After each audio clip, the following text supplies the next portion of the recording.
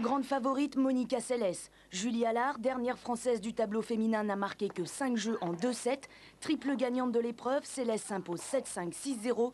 Sawamatsu est la prochaine adversaire de la numéro 1 mondiale.